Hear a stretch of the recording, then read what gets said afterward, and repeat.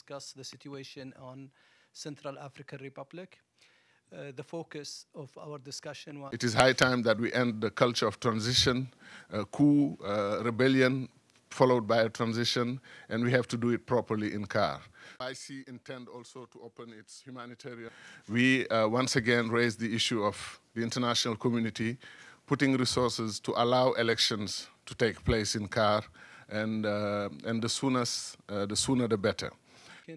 In, in coordination with the, the OIC. Of course, we want not election for election, but we want very inclusive elections that will help solve the crisis in CAR. Because if communities like Muslim com the Muslim community uh, in the refugee camp and the displaced uh, areas, uh, uh if those people feel that they are excluded from the political process and cannot uh, be part of the elections, that would be a bad news for all of us because then it means the CAR crisis is not uh, really resolved.